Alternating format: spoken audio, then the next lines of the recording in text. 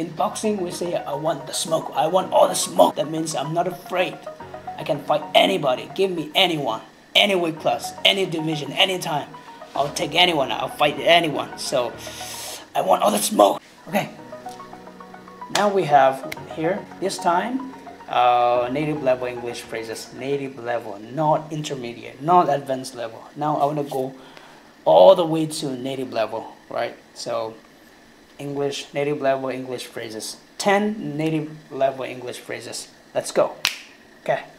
Okay, number one is cloud on cloud nine. Of course, on cloud nine means extremely happy. Extremely happy.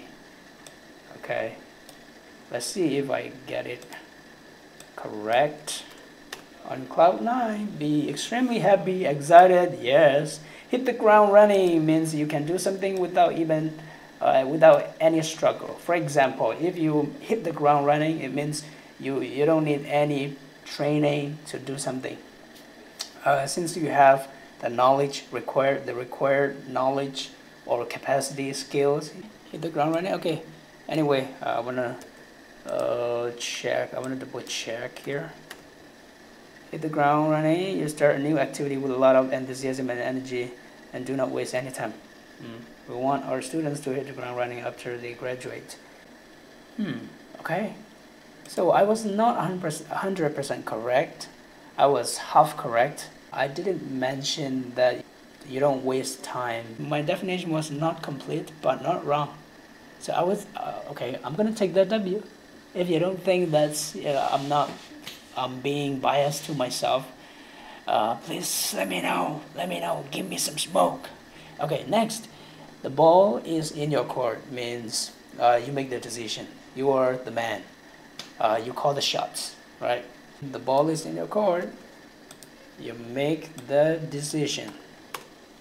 Uh, if you say that the ball is in someone's court, you mean that it is his or her responsibility to take the next action or decision in the situation. Absolutely, yes. Biting off more than you can chew. Come on. Is this native level? Come on.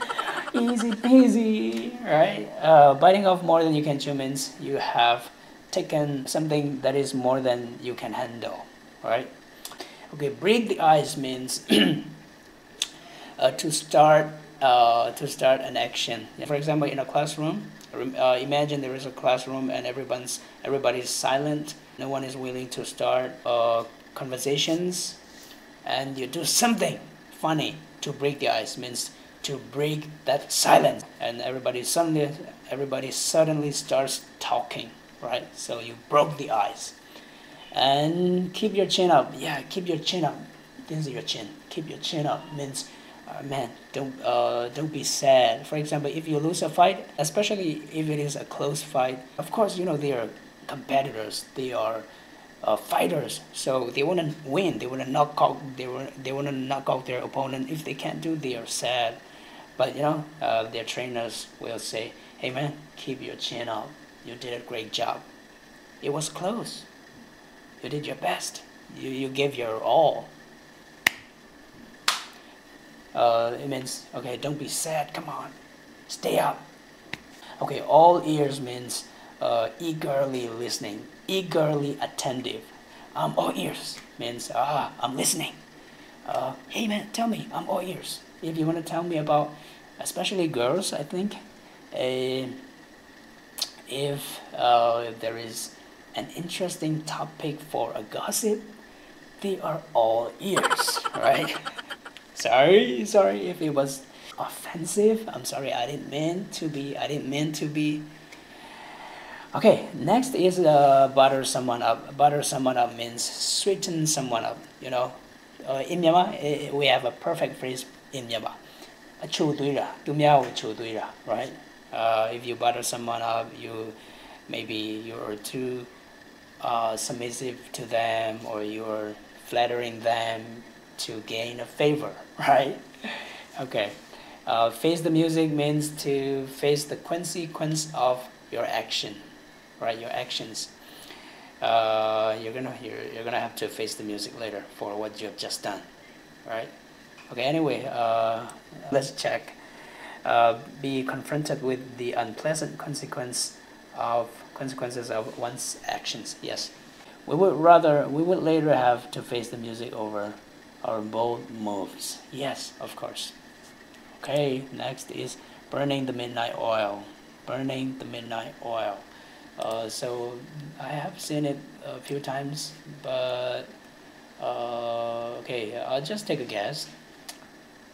Burning the, the midnight oil means you're staying late into the night, either for study or working on something. You're staying late at night.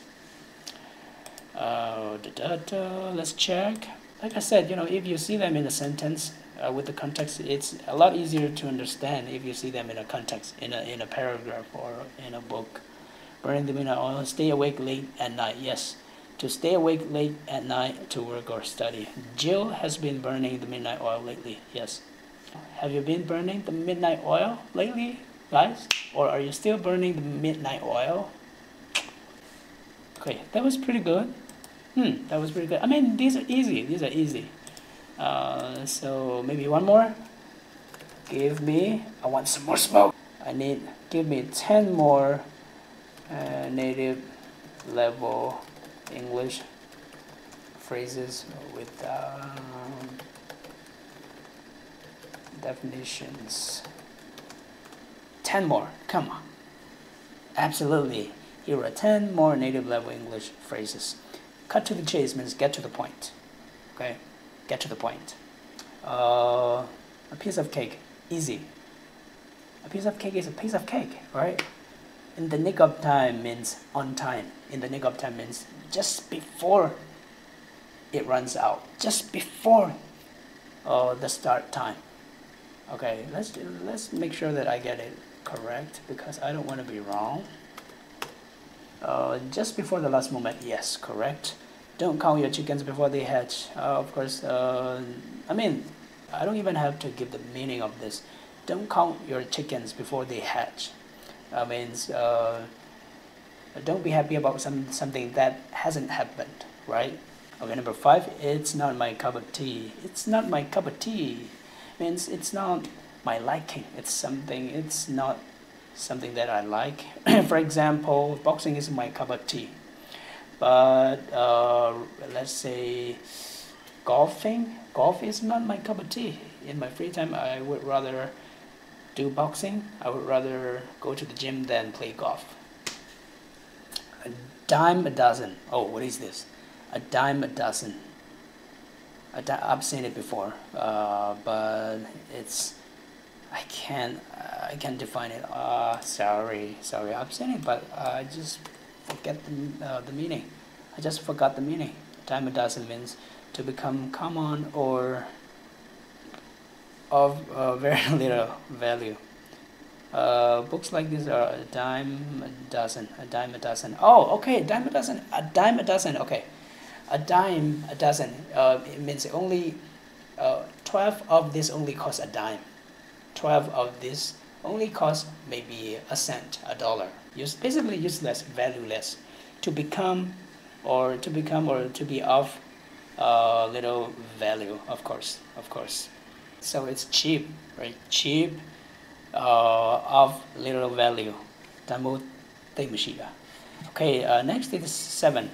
Caught red-handed means uh, okay labulajamia labulajat oh okay in English you can say uh, caught in the act.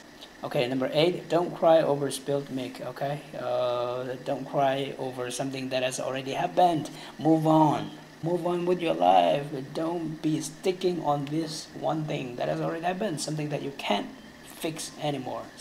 Get the ball rolling means start. Okay guys let's get the ball rolling means let's start. Let's get started. Jump on the bandwagon.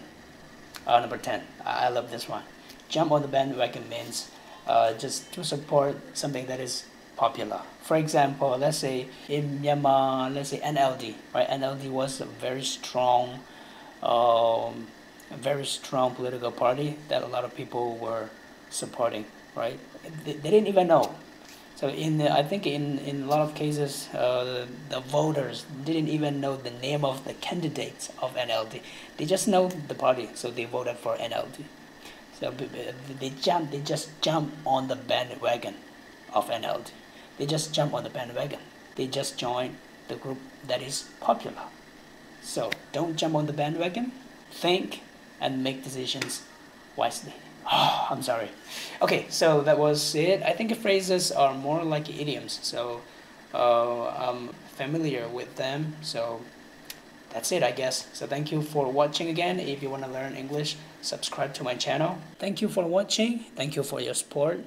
And if you, you if you want to know, if you want to learn vocabulary, of course, you know, consistent practice is the only way to go. So keep reading, keep learning, uh, keep writing, right? I would say keep listening to, you know, listen to uh, podcasts, audios, and keep reading. Reading is a great way to learn vocabulary. Again, vocabulary, not just words. Vocabulary and single words are different. I love English vocabulary. By the way, I'm teaching vocabulary. So if you want to join my class, let me know. That's it. Bye bye.